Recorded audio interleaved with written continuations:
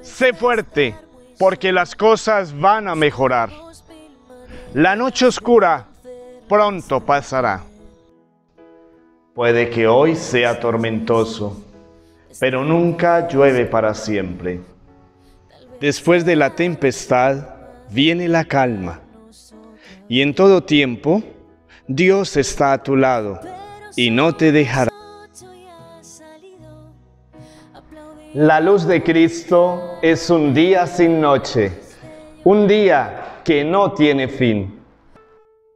Es tiempo de renovación. Es tiempo de reconciliación. Es el encuentro consigo mismo. Es el reencuentro con los demás.